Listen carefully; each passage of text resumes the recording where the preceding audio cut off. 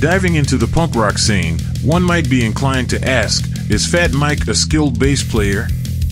This question may seem surprising to some, given that Fat Mike, born Michael John Burkett, is better known as the lead vocalist and bassist for NoFX, one of punk rock's most iconic bands. While many appreciate his brash lyrics and vibrant stage presence, it's time to shed some light on his skills with the four strings. Fat Mike's bass playing has always been a crucial component of the distinct NoFX sound. Though punk bassists might not always get the limelight they deserve, Mike's lines are indispensable. They're catchy, melodic, and often drive the song forward as much as the guitars do. For instance, listen to the infectious bass line in Linoleum. It's not just about holding down the rhythm, it's about adding a layer of melody that gives the song its memorable touch. Similarly, tracks like The Brews showcase how his bass can craft an underlying groove that anchors the entire song. When comparing Fat Mike to other punk bassists, it's essential to acknowledge peers like Matt Freeman of Rancid or Jay Bentley of Bad Religion.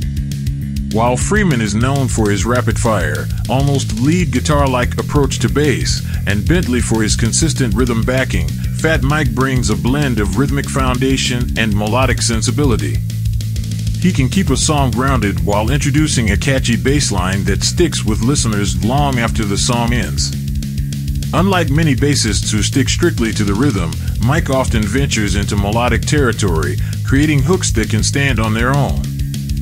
And, given the fast tempo of many NoFX tracks, Mike displays a nimbleness in his playing, quickly transitioning between notes without missing a beat.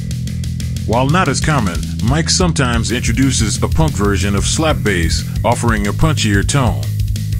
And his bass lines often interplay beautifully with the lead guitar, creating harmonies that enhance the overall song structure. In the grand landscape of bass guitarists, Fat Mike may not come up as frequently as legends like Geddy Lee or Flea.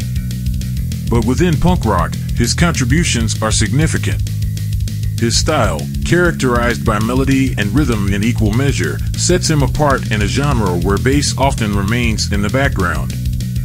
So, yes, by now I'd say we've pretty much answered the question of whether or not Fat Mike is a skilled bass player.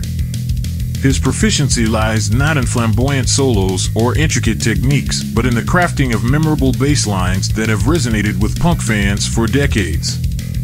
In a genre that champions raw energy and authenticity, Fat Mike's bass playing reminds us all of just how important a strong musical foundation really is, even in the world of punk.